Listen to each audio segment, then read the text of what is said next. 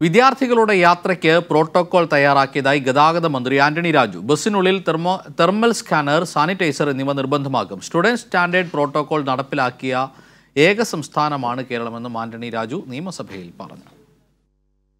ബസ്സിനുള്ളിൽ thermal scanner sanitiser എന്നിവ ഉണ്ടായിരിക്കണമെന്നും ബസ്സിൽ പ്രവേശിക്കുന്ന കുട്ടിയുടെ ടെമ്പറേച്ചർ തെർമൽ സ്കാനർ ഉപയോഗിച്ച് പരിശോധിക്കുകയും ഹാൻഡ് സാനിറ്റൈസർ ഉപയോഗിച്ച് കൈകൾ അണുയുക്തമാക്കുകയും ചെയ്തതിന് ശേഷം മാത്രമേ ബസ്സിൽ പ്രവേശിക്കാവൂ പ്രവേശിപ്പിക്കാവൂ എന്നും. ഇതിനായി ഓരോ വാഹനത്തിലും ഒരു തെർമൽ സ്കാനറും ഒരു ലിറ്റർ കപ്പാസിറ്റിയുള്ള ഹാൻഡ് സാനിറ്റൈസർ ബോട്ടിലും സൂക്ഷിക്കണമെന്നും നിർദ്ദേശം നൽകിയിട്ടുണ്ട്.